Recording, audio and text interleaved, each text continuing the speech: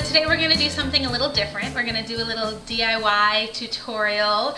So we're going to make today a wreath for the front door. Um, it'll be a great embellishment to your front door. It'll also be personalized. Um, and we're going to make a doormat for your front porch area that is going to be cute, it'll spruce it up, it'll be colorful and really fun.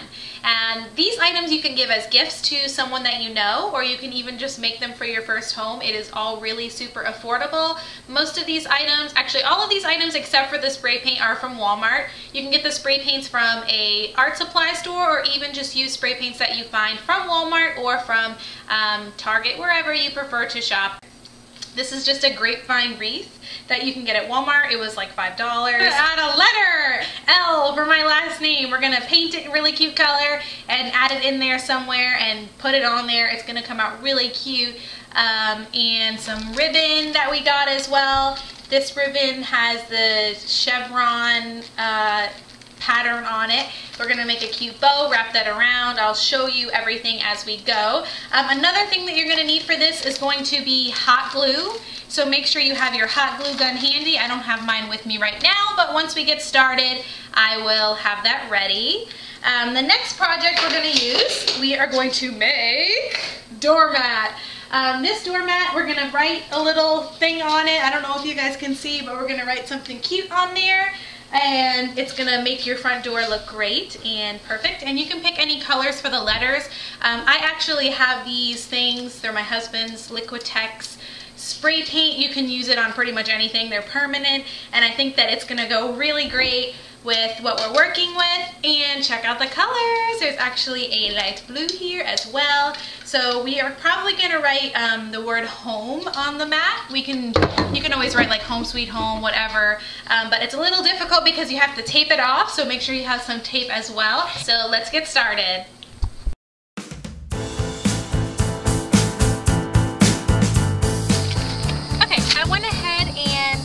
Taped off the H and covered the rest so that doesn't get overspray. We're gonna go in with the orange spray paint and just color in or spray paint in this area and it's going to be an H.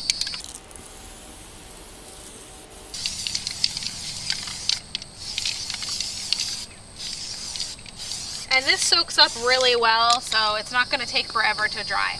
All right, on to the next letter. Okay, I went ahead and covered the H and taped off the O.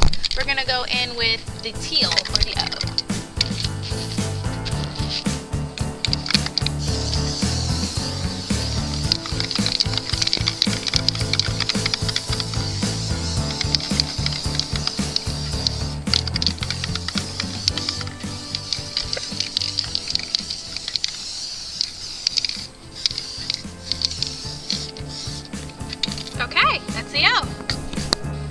cover the O, cover the next part, and go ahead and do your M in this yellow color.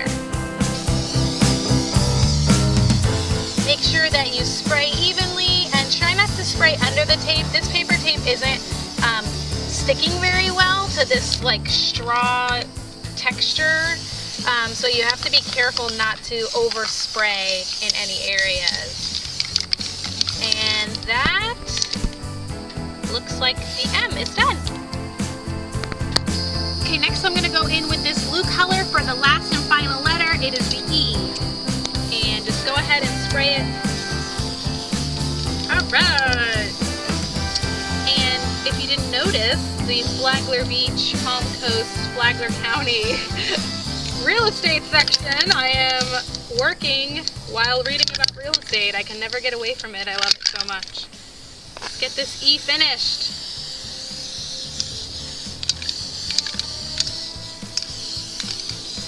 And that should do it for the E. Okay, uh, it looks like everything is dry.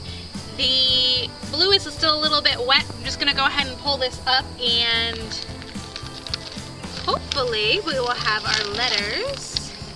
Let's do it very carefully.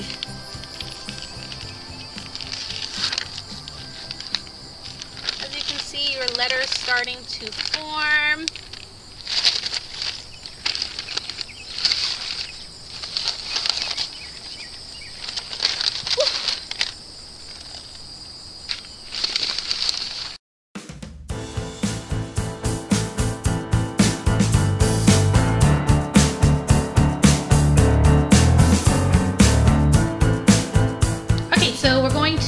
start the wreath. We've got our letter that's painted. We have our grapevine wreath and we have our hot glue gun which is warming up. I'm gonna put the L uh, staggered pretty like this I think with the L part hanging down because when I hang it I'll probably do it like a little cockeyed. Um, so what you're gonna do is you're just going to put some hot glue on the L or the letter that you're using. And I use like a ton of hot glue. That way it doesn't fall off like if it's windy and it's like banging against the door whatever. I use like tons of hot glue um, be careful it is hot ha ha ha okay go ahead and place that down and tighten it the best you can if it's not on correctly like tight then you can um, put some extra hot glue on there I'm just gonna press down for a second to make it stay. Should be okay. I'm gonna put a little bit under here and push down. That should hold it uh, there. Okay, so next we have our ribbon that we got and I'm just gonna do something really simple. I'm gonna do like a ruffled top. So I'm gonna cut about, I'm gonna cut a little bit extra than probably what I'll use. So I'm just gonna cut the ribbon. Set this to the side. And I'm gonna put the ribbon, I don't know if you can see, I might just have to turn it towards me.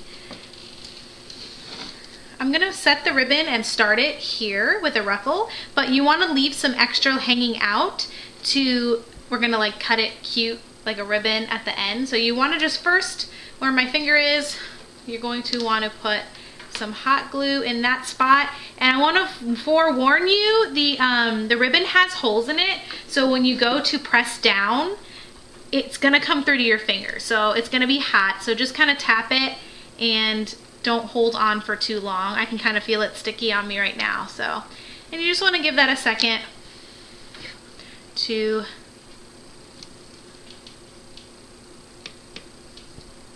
Okay, so what we're gonna do is we're going to make these little loops. Um, we're not gonna make a bow. This actually looks really cute once it's done because of the zigzags of the chevron. So you're gonna wanna go ahead and just make a loop and glue and then make a loop and glue. I'm gonna do the first few and then I'm just gonna speed up the process.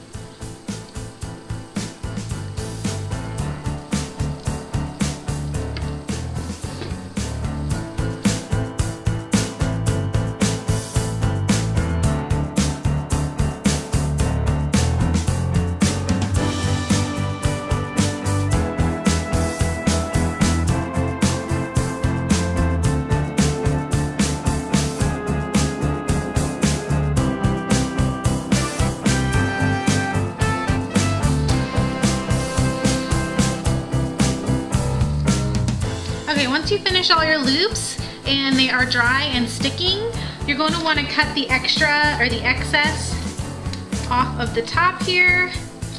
Leave a little bit extra. Make sure that it's tight on there. That one feels a little wiggly still. And I'm just going to go ahead and cut a tr uh, triangle here just to kind of make the ribbon a little bit fancier.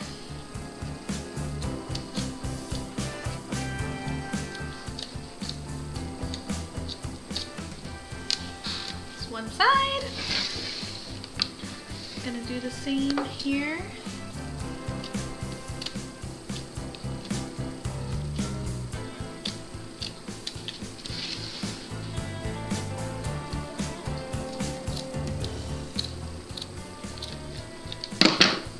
And that is the finished product. Let's go hang it up and see what it looks like.